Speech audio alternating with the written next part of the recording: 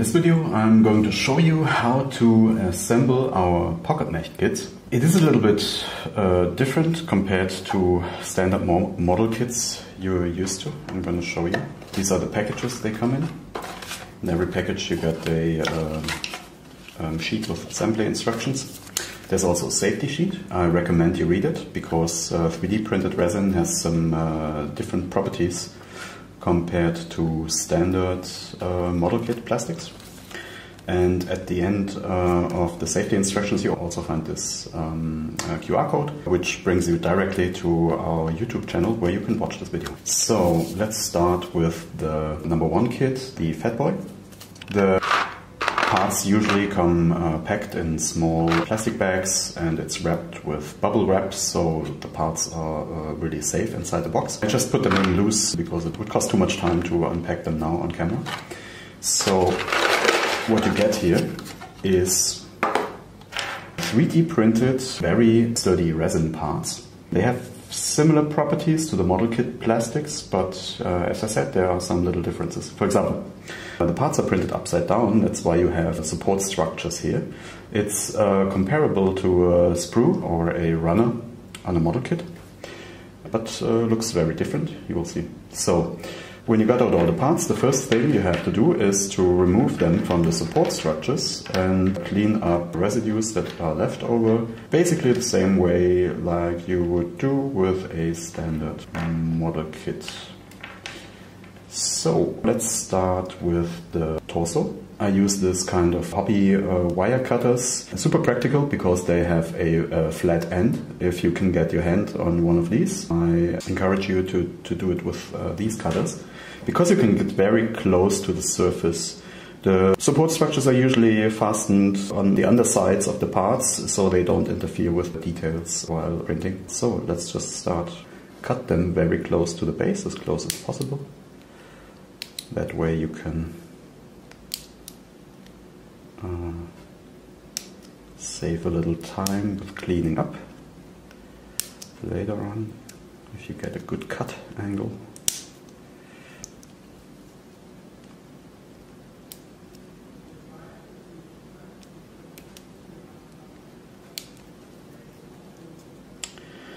You don't have to necessarily cut all of them. If you have cut enough of those structures, usually some leftovers are hard, hard to reach leftovers of the support structure can be can be wiggled away like this, just breaks off. So that is garbage, you have to get rid of that. Um, yeah, that's a, a plastic leftovers.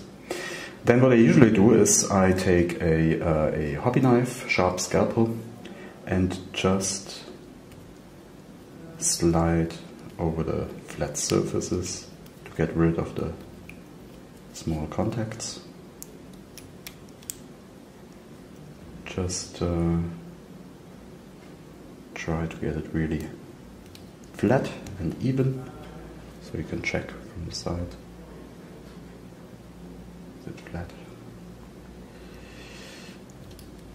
So be careful with your fingers. the parts are very small. Um, I'm a bit um, too careless sometimes myself, but fortunately I have hardly ever cut myself. I got the hang of it. But yeah, be careful. If you um, want to be really safe, you could use plastic gloves. So in case you slip, that might help um, not to directly cut yourself. So very careful, very gentle. The parts are usually quite stable, like you can see this here, this uh, uh, handlebar in front, it bends pretty well. But yeah, just to be safe, don't be too forceful while cutting. Cut carefully, slowly, gently. So I'm just going to continue uh, releasing the parts. Oh, uh, one more thing. If you want to re make really sure you get flat surfaces, you can use this um, um, sanding paper sticks. You usually can get them at your hobby supply store or um, um from Uh, this, uh, I think it's the same that people in the nail studios are using. So if you want to make really sure you have flat surface, take a stick. This one's like uh, length 240, 400. So one side, this is the rough side. And start like this. And you see how it comes off a bit. And then you can use the, um, the, the smaller grain side for some additional smoothing of the surfaces. And there's a little uh, residue coming off. This is normal with this kind of uh, um, printed resin. Just a little bit powdery. Uh, you can just wipe it off and uh, yep. So you see, now we got a pretty pretty nice surface. So I'm just going to continue with the rest of the parts. Moving this into um, fast mode and I'll be right back with you when I'm done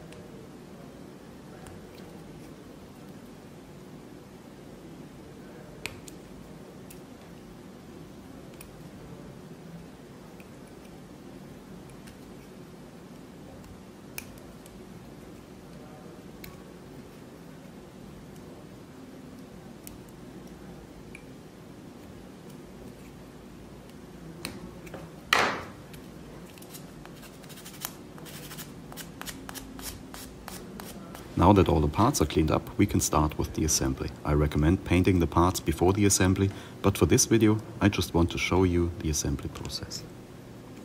Let's start with the main body of the Mech. Notice that all parts are snap fit and don't require glue. However, if you're going for a fixed pose miniature, you can use super glue to fix the parts in place. Always make sure to push the parts together gently and carefully to avoid breaking pins or joints.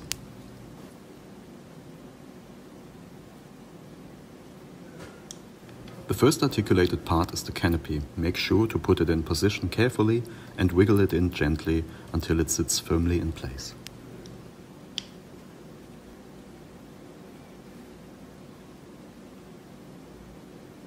There's a small pin on the underside which allows you to lock the canopy in a closed position.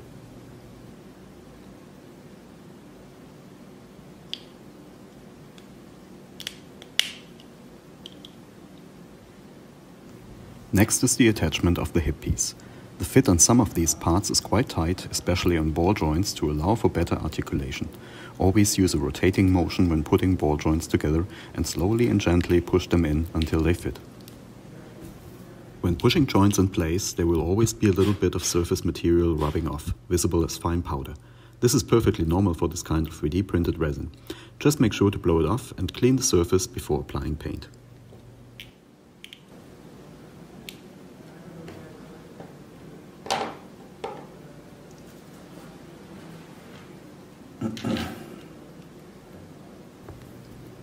Let's continue with the legs assembly. As always, make sure to push the snap fit parts together gently and wiggle them in until they sit in place. Don't use too much force to avoid breaking parts.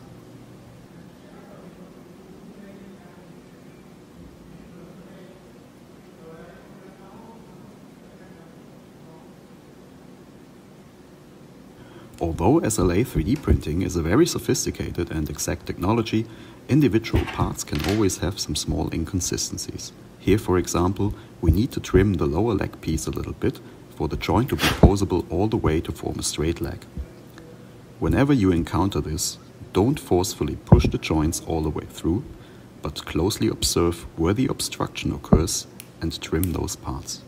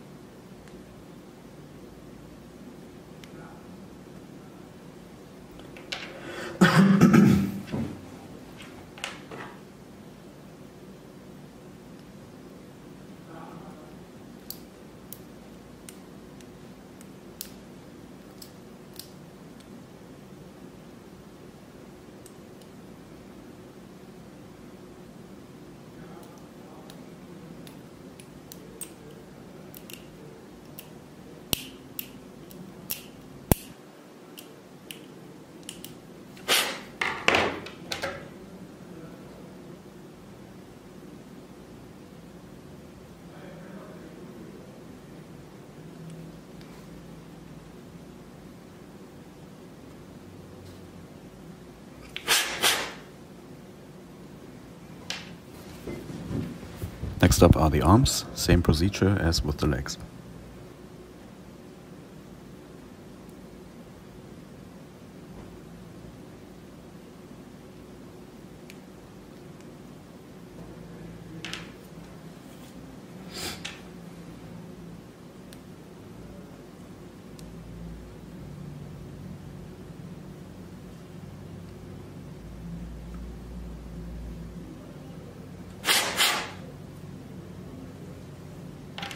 Now we can add all those parts together. Again, make sure to assemble the ball joints by slowly and carefully pushing and wiggling them in.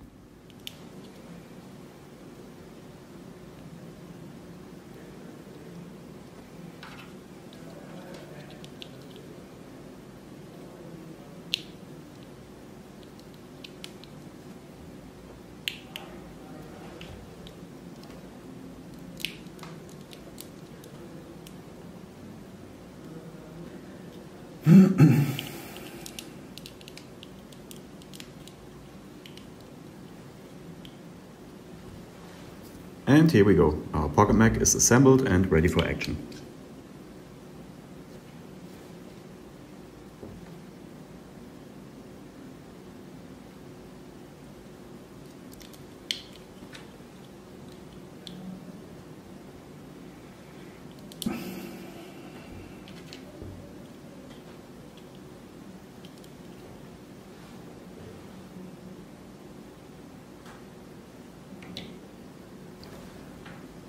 One more thing left to do is to assemble the rocket launcher weapon pods. Just push the launcher doors in place and they're ready to go.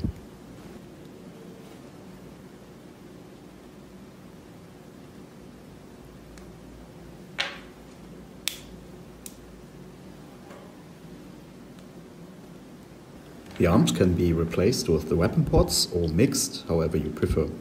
Also note that all the pocket mechs have compatible joints, so you can mix and customize your pocket mechs any which way you like.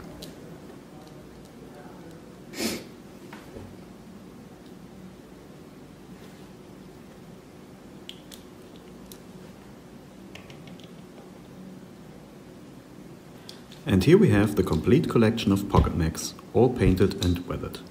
I recommend using an airbrush for painting, this is the best method to make sure every little detail is still visible after painting.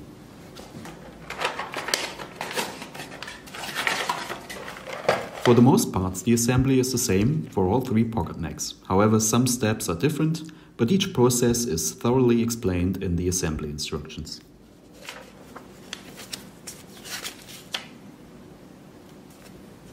That's it for this video. I hope you enjoyed it and I hope you'll all have fun assembling your Pocket Mechs. If you liked the video, please subscribe, leave a like and hit the bell notification button to support this channel. Thank you very much.